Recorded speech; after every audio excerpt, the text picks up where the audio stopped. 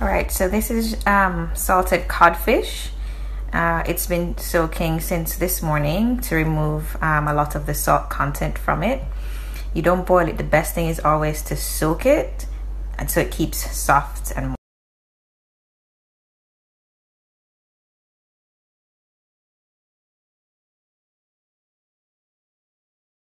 Alright, so I've opened this can of ackees. I want to say that ackee is a fruit um, most Jamaicans don't eat canned ackees. We get it straight from the tree, looking in like something like that, that little pod. And when it's opened, it looks like those are the individual. Okay, so raw ackees, guys, are poisonous.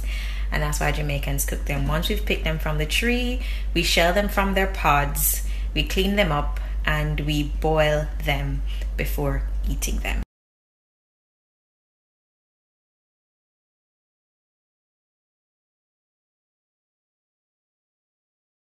So the ackees are in, the, after the vegetables were sauteed, I added in the ackees and I'm going to add some freshly ground um, black pepper as well.